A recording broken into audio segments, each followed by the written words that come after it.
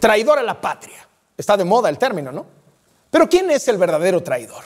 El que usó al movimiento feminista en su campaña y ahora ni lo ve ni lo oye. El que usó a las marchas de víctimas de la violencia para llegar a Palacio y ahora ni los deja entrar a una reunión. El que usó ambientalistas que creyeron en él y ahorita le cierra las puertas mientras arrasa con la selva maya. El que usó a escritores, a intelectuales, a cineastas, a artistas y después les dio la espalda. El que amenaza y persigue a científicos e investigadores. El que no acepta que le reclame nadie. Ni un niño con cáncer, ni una mamá sin guardería, ni un maestro sin plaza. Nadie. ¿Quién es el verdadero traidor? El que dijo que iba a desmilitarizar el país y entregó todo el gobierno a los militares. El que dijo que acabaría con los criminales y ahora los deja libres. El que dijo que terminaría con la corrupción y hoy se la pasa justificándola en su gabinete, en su familia. El que se aprovechó toda su vida de la libertad de expresión y ahora la persigue. El que, apenas nos enteramos, se dobló ante un presidente de Estados Unidos y puso el ejército mexicano a las órdenes de un gobierno extranjero. En este sexenio, la relación México-Estados Unidos se ha vuelto cada vez más tóxica. Abrazos y sonrisas un día y al día siguiente insultos y comentarios así pasivo-agresivos. Lo acabamos de ver con Trump. Cuando López Obrador era candidato, prometió plantarle cara por el tema del muro en la frontera. Después de ganar las elecciones, ya lo dijo Trump, se dobló. I've never seen anybody fold like that. They said it would be an honor to have 28,000 free soldiers. And for two years, we did. Trump insultaba, rompía acuerdos, se encaprichaba, hacía berrinches. López Obrador todo le dio y todo le perdonó. Estados Unidos cambió de presidente y ya no hubo ese trato de amigo para Joe Biden. Ahora el que desdeña, insulta, reprocha, no respeta acuerdos, se encapricha y hace berrinche es López Obrador. Y el gobierno de Biden, que al principio dejó pasar varios de estos numeritos, pues para no pelear, ya se cansó. Ya se cansó y desde hace meses empezó a mandar señales cada vez más directas de que la relación no va bien. Sería inconcebible el que no hubiese entendimiento. Sería muy lamentable el que no nos entendiéramos. Estados Unidos no está contento con México y ya nos está quedando callado. Ha ido subiendo el tono para dejar en claro cuáles son los focos rojos de la relación con nuestro país. Biden tiene como eje de su gobierno combatir el cambio climático. López Obrador apuesta por las energías contaminantes. Biden ha respaldado el Tratado de Libre Comercio entre los dos países. López Obrador quiere romper los contratos con las empresas de Estados Unidos y dárselo todo a Bartlett. Hay quejas contra México en lo laboral, en lo agrícola, en inversiones y encima López Obrador se queda calladito frente a los abusos de Rusia en Ucrania. Un tema pues, que se imagina es central para Estados Unidos. Escudándose en una supuesta neutralidad, México tardó en condenar la invasión y López Obrador le sigue dando trato distinguido a Vladimir Putin, un dictador al que el presidente de México no se atreve a criticar. Yo no califico a nadie, no es la política de México insultar a nadie. Le tenemos mucho respeto al presidente de China, al presidente de Rusia, al presidente Biden de Estados Unidos. Como si fueran lo mismo. O sea, imagínense cómo les ha de haber caído en Estados Unidos que López Obrador ponga la misma balanza a Biden y a Putin. Diga que para él son lo mismo. Las imágenes más atroces de los crímenes de guerra de Rusia en Ucrania están a la vista de todos. Y el presidente de México no se atreve a decir con nombre y apellido que Vladimir Putin es condenable por esto. No se atreve a decir que Rusia es responsable de haber invadido un país injustificadamente. No solo eso, impermeables a la tragedia. Justo después de la invasión a Ucrania, legisladores de Morena y otros partidos afines al presidente fundaron un grupo de amigos de Rusia. Me parece que el embajador de Rusia estaba aquí ayer haciendo un ruido que México y Rusia estaban tan cercanos. Eso, perdón, nunca puede pasar. Nunca puede pasar. Eso de andar apapachando a Putin es pura ideología barata. ¿Ya les habrán avisado a estos aspirantes a socialistas que Rusia no es socialista? ¿Ya les avisaron que desde hace 30 años Rusia no es la Unión Soviética? Rusia, Rusia es un imperio capitalista en el que hay un grupito de multimillonarios hipercapitalistas, amigos de Putin, que de socialistas no tienen ni playeras del Che Guevara. Pero ahí están, ahí están López Obrador y sus trasnochados en el discurso del imperialismo yanqui. ¿Por qué López Obrador apapacha tanto a los dictadores, pero se pelea y se enfrenta con los demócratas? Porque los dictadores se hacen de la vista gorda con sus abusos. Nosotros no nos metemos a opinar sobre violaciones de derechos humanos en Estados Unidos. ¿Por qué? El gobierno de Estados Unidos opina sobre cuestiones que solo competen a los mexicanos. Está claro que Estados Unidos está entre irritado y decepcionado, dolido por la actitud de López Obrador apapachando a Putin. Estados Unidos ha ido mandando a funcionarios de alto nivel a hablarle a López Obrador. Y el tono ha ido cambiando. Ya vino Kamala Harris, la vicepresidenta, en buen plan. Vinieron luego el secretario de Estado, Anthony Blinken, el de Seguridad, Alejandro Mayorkas, la de Energía, Jennifer Granholm, el de Justicia, Mary Garland, el procurador, William Barr, y hasta una primera visita de John Kerry, el especial enviado del presidente Biden para combatir el cambio climático. Todos, todos por las buenas. El embajador tuvo incluso varias reuniones muy amables, hasta que un día, hasta que un día Estados Unidos dijo, hasta aquí. Y entonces el embajador puso un tuit subiendo el tono el secretario de Estado, en medio de la guerra con Ucrania, se dio tiempo para criticar al gobierno de López Obrador. La vocera de Biden, también en medio de la guerra, se dio tiempo para reclamar al presidente de México. La representante comercial ha tenido dos expresiones públicas hablando de que las reformas de López Obrador dañan al medio ambiente, ponen en riesgo 10 mil millones de dólares en inversiones en México, podrían dejar miles de desempleados, etc. ¿Cree que López Obrador entendió? Entró en razón, o al menos quiso entender o quiso entrar en razón. Nada, nada. Y entonces el tono fue subiendo todavía más. Uno de los militares más importantes de Estados Unidos, el jefe del Comando Norte, declaró que el país con más espías rusos del mundo es México. I would point out that the, largest portion of uh, GRU members in the world uh, is in Mexico right now.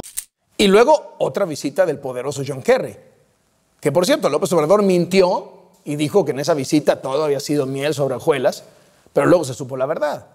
Y la verdad es que la cosa no estuvo nada dulce.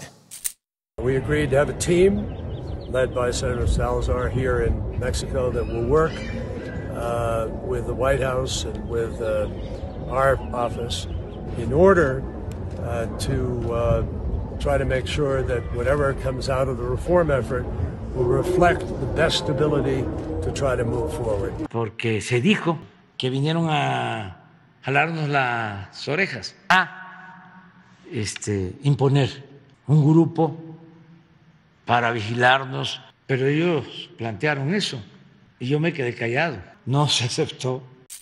Dice el presidente que se quedó callado. Ah, mira, el bravucón de las mañaneras se queda calladito cuando está frente a los altos funcionarios de Biden. En las mañaneras muy respeten la soberanía, no somos colonia de nadie, no se metan. Pero ya cuando están enfrente en la mesa, calladito. Estados Unidos se ha vuelto experto en darle el avión al López Obrador. ¿Cuántas veces le ha pedido López Obrador a Estados Unidos que no apoya a las organizaciones gubernamentales que señalan las irregularidades dentro del gobierno de México. Hace más de un año mandó una nota diplomática y no le han contestado. Como se dice ahora, lo dejaron en visto. Es injerencia, es intervencionismo. ¿Cómo un gobierno extranjero va a financiar opositores? Nosotros no vamos allá este, a darle dinero al Washington Post o al New York Times para que hablen mal del presidente Biden. A ver, eh, el primero que recibe financiamiento de Estados Unidos es el gobierno de López Obrador. ¿sí? Millones de dólares que antes se llamaban Iniciativa Mérida y ahora se llaman Entendimiento Bicentenario. Estados Unidos ha ido subiendo el tono y México lo está minimizando. No son comentarios aislados de funcionarios menores que no estén informados, no, no, no. Es toda una estrategia política de comunicación para expresar inconformidad y dejar muy claro que la paciencia tiene un límite. Mañana, ya después de que la reforma amenazante de López Obrador en materia de energía no pasó, mañana hablan Biden y López Obrador. A ver cómo sale eso. a ver cómo dice que sale y a ver cómo realmente sale. Porque en bla, bla, bla, nadie le gana al presidente de México. Dice que no interviene en otros países, pero apapacha dictadores. Dice que está abierto a las inversiones extranjeras, pero rompe los contratos. Dice que firma el TEMEC, pero no lo respeta. Dice que defiende la soberanía, pero se dobla. Se dobla ante Trump y pone a sus órdenes a 30 mil soldados del ejército mexicano. Perdón, pero según nuestras leyes, eso, eso sí que es traición a la patria.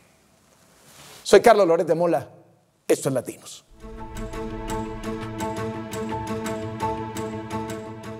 En las obras emblema de este sexenio hay una característica en común.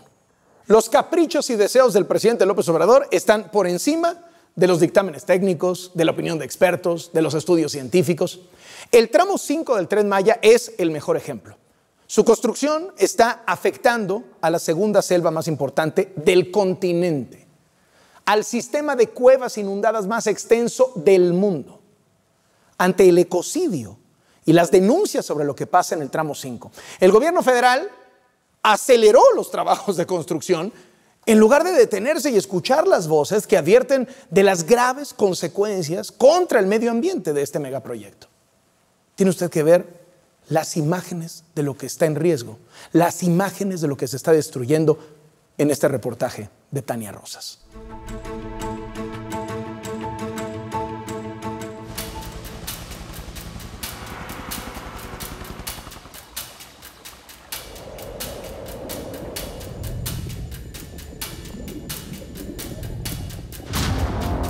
El tramo 5 del tren Maya, que correrá de Cancún a Tulum, en Quintana Roo, ha provocado una lluvia de amparos, quejas y denuncias.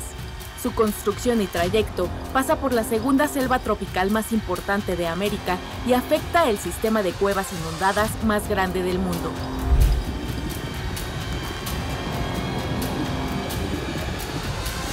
Esta es la cueva Garra de Jaguar, ubicada en la selva Pamul en Playa del Carmen será una de las tantas cuevas impactadas por el tren Maya, de acuerdo con un estudio del espeleólogo Peter Sprouse, quien advierte que se corre el riesgo de un colapso catastrófico y daños en un antiguo altar maya. El sistema Garra de Jaguar es una de las cuevas secas más largas de Quintana Roo, con 46 kilómetros de extensión. Aquí se han encontrado vestigios prehispánicos y una variedad de fauna en peligro de extinción como el jaguar, la anguila ciega y el pez dama blanca los sistemas de cuevas que van de selva adentro hacia la costa están siendo eh, estrangulados por el tren Maya. Es como una trampa mortal para estas poblaciones de fauna silvestre porque tal vez vamos a hablar de una extinción regional para muchas especies. Además de la fauna, una preocupación de los especialistas es el tipo de suelo, poroso, frágil, similar al de la cueva Garra de Jaguar, en donde hubo colapsos provocados por la misma naturaleza. Los trabajadores ya han tenido a su paso cuevas como esta, la avispa enojada, que tiene 3 kilómetros de longitud. Si hay un grupo de especialistas que conoce la vulnerabilidad del suelo por el que pasará el tren Maya, es el de los buzos. Muchas veces vamos buceando en ciertas zonas y nos empieza a caer del techo lo que llamamos percolación. El simple toque de nuestras burbujas tocando con el techo hace a veces que se caigan pedazos grandes de, de roca o de sedimentación. Este es un ejemplo de pilotes en el agua y de la contaminación que provocan pequeñas obras en Quintana Roo. Este otro es un ejemplo de lo que se escucha en el agua cuando trabaja una máquina en la superficie.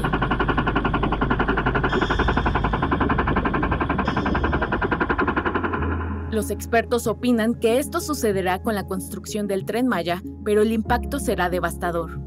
Quintana Roo cuenta con grandes sistemas de agua que corren de oeste a este, pero la actual ruta del tren Maya cortará de norte a sur.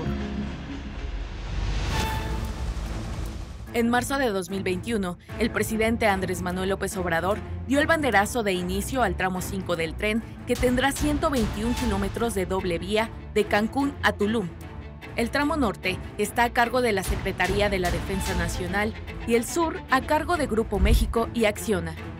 La ruta, de acuerdo con los pobladores, se ha modificado cuatro veces.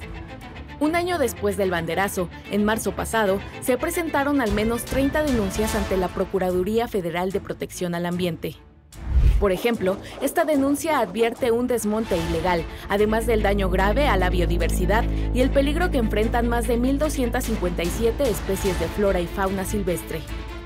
También se presentó una denuncia penal ante la Fiscalía General de la República y al menos se han interpuesto cuatro amparos para frenar el tramo 5.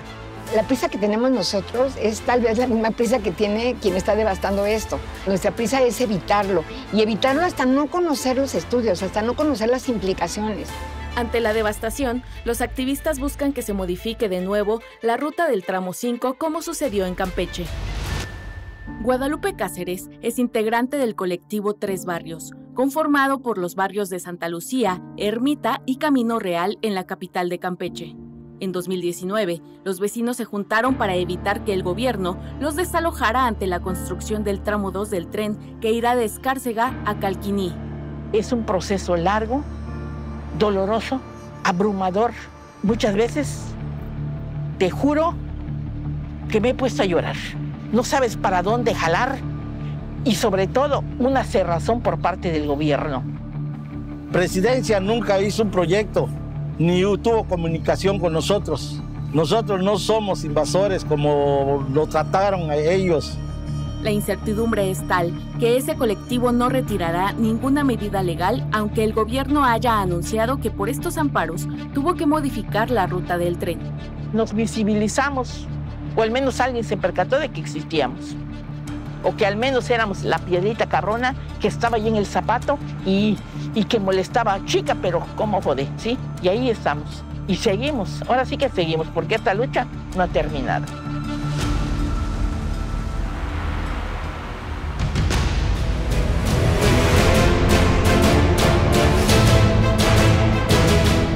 En lo que va de este año, se han disparado los asesinatos de mujeres. Para tratar de entender qué está pasando, Hoy en Latinos están la doctora Aimé Vega Montiel, investigadora feminista de la UNAM, e Indira Sandoval, una feminista muy conocida, defensora de los derechos humanos. Muchísimas gracias a las dos por acompañarnos. ¿Qué está pasando, Indira? ¿Por qué hemos tenido estos meses brutales en 2022? Son consecuencias de una guerra que sin duda tiene rostro de mujer. Se está inscribiendo sobre el cuerpo de las mujeres esta guerra que tiene que ver con la desaparición de mujeres. Estamos a siete al día eh, entre mujeres y niñas que desaparecen, aunque la Redim en su último informe ya clasifica de 14 desapariciones entre niñas, niños y mujeres al día. Eh, siete agresiones sexuales por hora, si contamos acoso, hostigamiento, violación, violación equiparada, eh, abuso sexual. 20 feminicidios todos los días. 20 feminicidios al día. Todo tiene que ver con la militarización, con el desmantelamiento de políticas públicas, con el pronunciado eh, con la pronunciada reducción de presupuestos encaminados a la erradicación de brechas de desigualdad y de prevención de la violencia. Y tiene que ver, sin duda, con un abandono y una orfandad institucional en la que vivimos las mujeres, eh, en total desprotección, porque todo indica que la vida de las mujeres no le importa a este gobierno como no le ha importado a, estos a otros sexenios. El presidente dice que esto es culpa del neoliberalismo. Eh, y cuando alguien escucha la palabra guerra en el contexto del crimen organizado, pues piensas automáticamente en Calderón. Eh, ¿Es así o es un tema de este gobierno? Es aún más grave. ¿En este gobierno? Sí, por supuesto.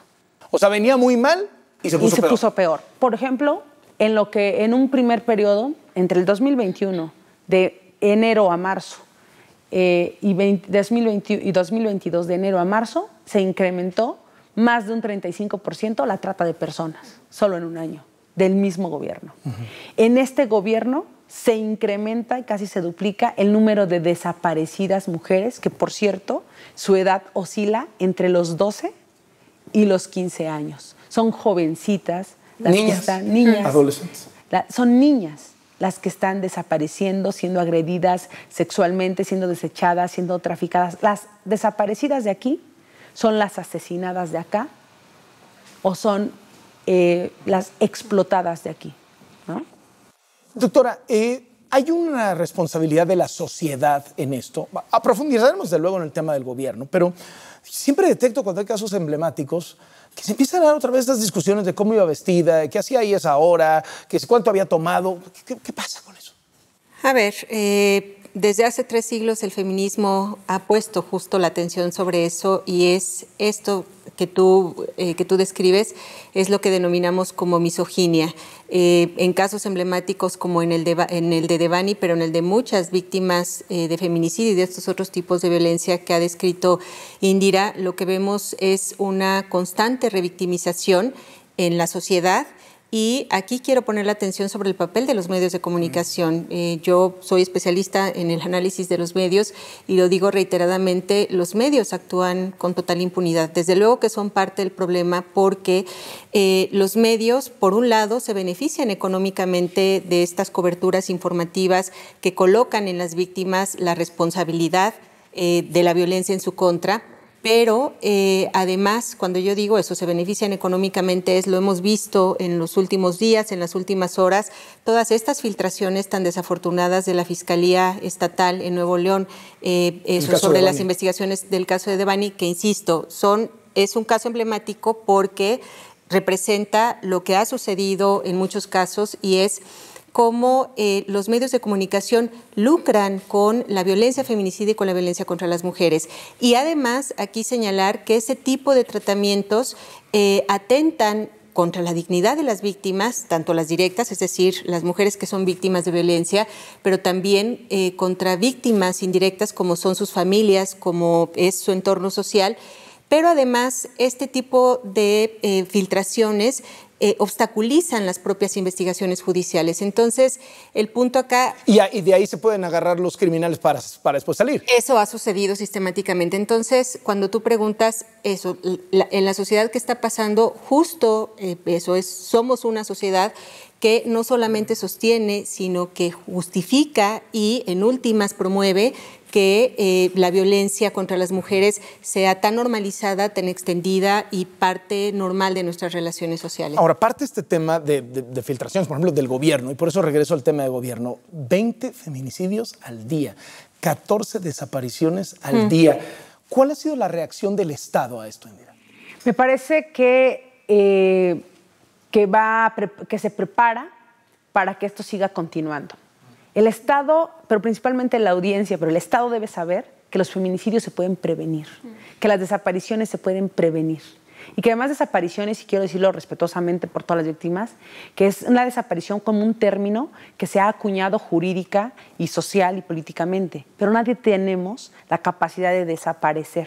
Atrás hay, una, eh, eh, hay un secuestro, hay una privación ilegal de la libertad, hay alguien involucrado o alguien eso, todo un asunto, porque nadie desaparece de ningún lugar. Eh, en ese sentido, el Estado que salga, por ejemplo, primero el presidente a decir que antes del neoliberalismo los feminicidios no existían. Perdón, pero eh, las muertas de Juárez me parece que fueron un punto de inflexión que derivaron en una ley general de acceso, en una sentencia como la de Campo Algodonero, en, temas y protocolos y fiscalías especializadas. Hoy el tema de Evani me parece que nos debe llevar a ese punto de inflexión donde un modelo que ya está agotado debe transformarse. Sin embargo, el legislativo dice, no vamos a dejar de recibir goles, mejor fortalezcamos la portería, póngale doble red eh, vamos a endurecer esta ley del garrote, este populismo punitivista, vamos a endurecer las penas contra quien intente asesinar, ya no solamente contra los asesinos. Y les vamos a colocar prisión preventiva oficiosa. Perdón, pero ¿dónde están las acciones para que esto no se repita? Y luego el Senado de la República dice, y hagamos un centro de identificación de, humana, este, porque los cuerpos van a seguir eh, desapareciendo y mejor este, modernicemos y, este, y fortalezcamos nuestros mecanismos. ¿Qué tendrían que estar haciendo, Indira, entonces? Es decir, ¿cómo sí podría evitarse el feminicidio y cómo sí podrían evitarse todas las agresiones contra las mujeres? con políticas de prevención, con presupuestos suficientes y vastos, porque las mujeres representamos más de la mitad de la población, requerimos del accionar eh, efectivo por parte de las fiscalías, que son quienes deberían estar buscando a las personas eh, desaparecidas y no los familiares. Y las comisiones de búsqueda tendrían que estar dando en todo caso acompañamiento, seguimiento, registro a estas. las mamás y los papás no tendrían que estar buscando. Segundo, Existe un protocolo, el protocolo ALBA, que debe estar siendo efectuado, ejecutado de manera efectiva. ¿Cuál es el protocolo ALBA? Es el que se debe aplicar para mujeres desaparecidas. En las primeras horas son vitales, nada de que se fue con el novio, nada de que mañana aparece, regrese usted después. Mientras más rápido, Mientras más rápido, mejor. Eh, tú decías hace rato, ¿qué pasa con la estigmatización? Aquí nada de que el novio que por allá de andar, que si estaba en una fiesta, que además, no nunca es responsable la víctima, siempre va a ser el agresor y el contexto que sucede. ¿Qué otra cosa tiene que pasar? Clasificar de manera adecuada, porque la sentencia Mariana Lima dice que todas las muertes violentas de mujeres deben ser clasificadas como feminicidios hasta que se demuestre lo contrario. Se requiere una homologación en la tipificación del delito de feminicidio. No puede ser distinto en Baja California que en Chiapas, que en el Estado de México. Bueno, este gobierno lo que quería era quitar esa tipificación, ¿no? O sea, quitar el feminicidio, fue parte de los intentos. La, la asombrosa idea de cómo quitamos los feminicidios, desaparezcamos el término. Y lo que nosotras exigimos es el cumplimiento de la ley, no solamente al Poder Ejecutivo, sino al Legislativo y al Judicial. Y en efecto, eh, eh, Marcela Lagarde, que es eh, quien, quien impulsa, quien crea, quien idea esta ley, ella lo hace con una mirada integral que apunta a la prevención, pero también a la atención pero también a la sanción y esto con miras a la eliminación.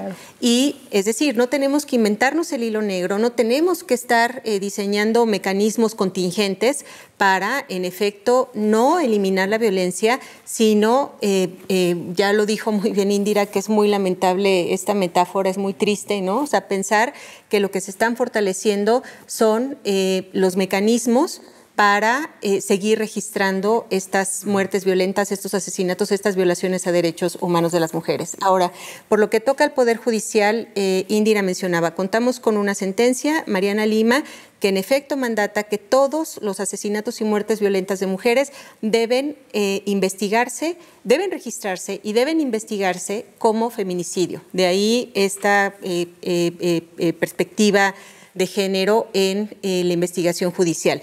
Pero ¿qué es lo que sucede? Que hasta el día de hoy podemos ir a revisar los datos del Secretariado Ejecutivo Nacional.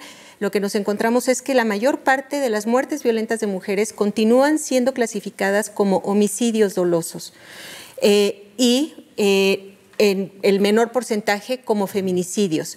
¿Esto qué significa? Que al momento de que se investigue, no se pondrán al centro a las víctimas. O sea, investigar con una perspectiva de género significa adoptar un enfoque de derechos humanos, esto desde el Poder Judicial, los peritajes entonces tendrían que ir a revisar el contexto de vida de las víctimas y no hacer lo que está sucediendo en el caso de Devani, donde inicia eh, eh, la Fiscalía Estatal una investigación sin perspectiva de género. Eh, la desaparición, por ejemplo, aquí contamos también contra, perdón, con la ley contra la trata, que establece que las desapariciones deben, de mujeres y de niñas deben investigarse como trata, como parte del tráfico sexual de mujeres, y esto no lo está haciendo el Poder Judicial. ¿Se esperaban ustedes que el presidente López Obrador fuera así? con el tema de las mujeres? A ver, yo lo que debo decir es que, o sea, justo desde el feminismo esto es lo que ejemplifica, esto es un Estado patriarcal. Entonces, yo, claro, no observo desafortunadamente en este gobierno un cambio en la política. Eh, más que un cambio en la política, una voluntad política para cumplir con lo que mandata la ley, pero tampoco lo hemos visto en administraciones pasadas. Y esto se explica por qué razón, porque eh, lo que sostiene a este sistema, a esta estructura patriarcal, es la circulación de, las mujeres como moneda de cambio. Esto es lo que explica eh, no solamente la violencia feminicida, sino la trata con fines de explotación sexual, las desapariciones de mujeres que están ligadas a estas redes eh, de trata. Que son muy claras en el mapa. Claro, y Aquí, aquí quiero señalar algo. cuando tú preguntas, o sea, eso, digamos, en, este, en este análisis que hacemos de la actuación del Estado, de la actuación de las autoridades, por un lado nos encontramos con estas medidas contingentes, que, ok, insisto, me parece tristísimo que estas medidas apunten a, eh, eh, eso, a, atender un problema que parece no hay voluntad de eliminar, pero al mismo tiempo también las mismas autoridades y este poder legislativo están avanzando mecanismos normativos que lo que hacen es eh, eh, legalizar la violencia contra las mujeres. Y vuelvo al punto, cuando tú preguntas eso, ¿es esta administración? No es esta administración, esto es una cadena que lo que nos muestra es, desde el Estado mexicano no hay voluntad política para hacer cumplir la ley. Sin embargo, yo diría, y para puntualizar, no es esta administración, pero sí en esta administración se han incrementado. Eh, aprovecho para comentar que el sistema nacional no desglosa la desaparición, es decir, te dice cuántos feminicidios, cuántos homicidios, pero no te dice, esta está asesinada, pero estaba reportada como desaparecida. O sea, eh, hay ahí muchísimos temas que nos dejan ver pues la desatención, la inacción judicial y la impunidad, puesto que el 98% de los delitos cometidos contra las mujeres está en total impunidad. ¿Cuál ha sido el impacto político del movimiento feminista actualmente? Es decir, hay mucha conversación en el sentido de que eh, el presidente no lo atiende, el presidente no lo entiende y, nada pone en jaque tanto a, esa prioridad que parece el presidente que es lo electoral, prioridad del gobierno, como el tema feminista. ¿Cuál ha sido el impacto político desde su lectura? A ver, yo aquí eh, traigo a Nancy Fraser, eh, una teórica social espectacular, y ella ya desde hace algunos años, desde hace más de una década, ella dice, el feminismo es eso, ya lo dije, tiene tres siglos, es una tradición teórica, es un movimiento social, es una política institucional y es una agenda. Y este feminismo se ha convertido en el movimiento eh, más importante en la historia de la sociedad. Entonces, claro, si este movimiento feminista llama la atención sobre la reiterada discriminación y violencia contra las mujeres en la sociedad, desde luego va a poner en jaque no solamente al gobierno federal, sino a gobiernos estatales y municipales. Aquí el, el gran tema, pues, es, nosotras, ya lo dije, no pedimos nada que esté fuera de la ley, no pedimos nada que esté fuera la ley, pero el punto acá es que tanto para el Ejecutivo como eh, más bien para el Gobierno federal como para los estatales y municipales, nunca ha resultado conveniente aceptar admitir violaciones a derechos humanos eh, de las mujeres en sus territorios. Entonces, por ejemplo, vemos las alertas de violencia de género, que desde luego es un mecanismo fundamental eh, creado, ideado por Marcela Lagarde y establecido en la ley general sucede que estas alertas representan una amenaza. ¿Por qué razón? Amenaza su popularidad. Decía muy bien Indira en su primera intervención, aquí asistimos a un eh, populismo reiterado, no solamente del Poder Legislativo, de eh, gobernadores, eh, de un gobierno federal que eso, en nombre de eh, no perder votos, de no perder popularidad, entonces no admiten violaciones a derechos humanos de las mujeres en sus ¿Cuál ha sido el impacto político del movimiento feminista en México, Saxenia? De la única fuerza política en el país, me, voy a atrever a decirlo, porque hay que distinguir entre estructuras electorales, entre maquinarias electorales y entre una fuerza política. Y la única fuerza política, democrática, participativa, vigente, revolucionaria, pacífica, actualmente es el feminismo, el movimiento que por mucho es el movimiento pues, más progresista eh, eh, vigente hasta nuestros días. Y cuando se habla del despertar social, cuando hablan de participación ciudadana, pues las feministas nunca hemos estado dormidas. Muy por el contrario, somos las quienes hemos colocado los puntos sobre las IES, colocando y revelando los datos. Nosotras tenemos otros datos muy desglosados, eh, específicos, que pisan callos e intereses que son molestos y que son incómodos, porque también yo creo que habrá que sumarle, podría ser rapidísimo un decálogo que a la militarización del país, a la vulneración del Estado laico, a la, eh, desdibujamiento del poder judicial y del poder legislativo frente a un presidencialismo absolutista, a la polarización de la, de la sociedad, de la política, hacia la persecución de la libertad de prensa,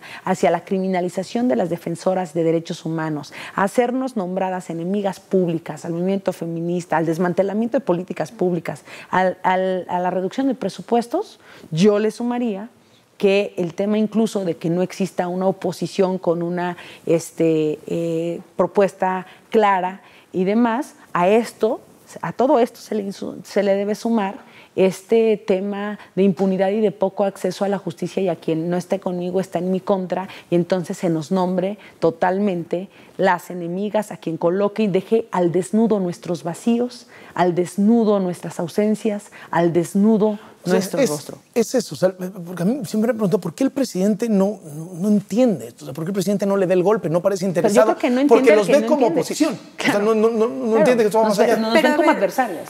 Pero, pero el asunto para mí es, eh, no es que no entiendan, o sea, justo porque entienden, y, e insisto, yo me refiero no solamente a lo que ha sucedido con esta administración, sino con las anteriores, justamente porque entienden es porque son negligentes y no atienden la ley. Es justo porque entienden que eh, eso, que son eh, tan omisos con la violencia contra las mujeres. Y, solamente quiero añadir a este análisis, em, cuando tú preguntas eso, ¿qué fuerza tiene el movimiento feminista? Esto ha sucedido con la actual administración a los dos meses de haber iniciado un decreto presidencial, establece o mandata que todos los programas eh, eh, de las instituciones del gobierno federal que vinculan la eh, participación de organizaciones de la sociedad civil sean eliminados. Y esto es muy lamentable, pero a lo que apunta es justamente a debilitar a esta organización social que hemos construido a través de las organizaciones de la sociedad civil, todos estos mecanismos de democracia, de participación ciudadana y de derechos humanos con que contamos. Tenemos el ejemplo de los refugios. Son, eh, tan solo en la Red Nacional de Refugios operan eh, más de 60 organizaciones de la sociedad civil que, aunque hasta el día de hoy, en la actual administración, este año, llevamos eh, cuatro meses del presente año, no han bajado los recursos para que operen estos refugios. No obstante, las mujeres de las organizaciones que los llevan adelante continúan recibiendo a las mujeres víctimas de violencia, a sus hijas e hijos. Entonces, el punto acá, esto va ha ido de la mano este desmantelamiento institucional de también un intento de debilitar a las organizaciones feministas de la sociedad civil. ¿Qué debe seguir? Hay que armonizar leyes, hay que crear política pública, salimos muy caras, entonces yo hablaría de, austericidios, ¿eh? lo que está sucediendo. Al amparo de la austeridad le quito a quienes no votan, a los niños, retiro este, a, porque, y a las mujeres castigo con menos tienen que hacer más porque no importan sus vidas y demás. Entonces, ¿qué tiene que seguir? Me parece que debemos fortalecer los presupuestos, debemos hacer valer la ley y si es necesario hacerlo valer ante las instancias interamericanas, internacionales, porque no bastan las instancias nacionales, porque queda claro que están agotadas y el Estado fallido eh, lo podemos medir en la condición y calidad de vida de las mujeres que están siendo asesinadas y desaparecidas todos los días, también tiene que terminar esta guerra absurda y absolutamente innecesaria contra este, eh, esta parte de la militarización. ¿Qué tiene que suceder?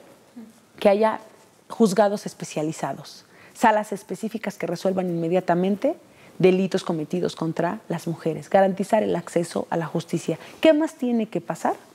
La obligatoriedad a todas las autoridades, desde el federal hasta el municipio. Aquí es tan responsable el del alumbrado del municipio eh, más alejado del país como el presidente de la República y el de la Suprema Corte de Justicia de la Nación. Leyes, políticas públicas, presupuesto, armonización y también la ciudadanía, donde los medios de comunicación y las redes sociales y las multiplataformas también se hagan cargo de la corresponsabilidad que tenemos en no normalizar y naturalizar lo que está pasando. La impunidad mata. La indiferencia, la complicidad, el silencio matan. Cobran vidas la normalización de lo que le pueda suceder todos los días a una mujer. ¿Qué tiene que suceder? Prevenir, atender, sancionar.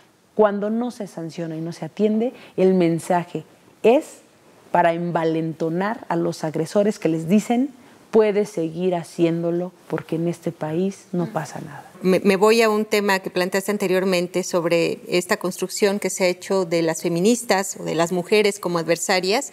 No somos adversarias, somos ciudadanas. Y lo que estamos exigiendo es el cumplimiento de la ley para que se garantice nuestro derecho a una vida libre de violencia, nada más y nada menos. Entonces, eh, estas eh, eh, acciones que ha puntualizado mi compañera Claro, o sea, podemos añadir muchas más. Vuelvo al punto, no tenemos que inventarnos el hilo negro. El llamado desesperado que hacemos es a cumplir la ley y a no desmantelar esto que hemos construido. Les agradezco muchísimo a las dos que hayan venido a exponer Gracias. estos temas aquí Muchas Latinos. gracias, Carlos. Saludos.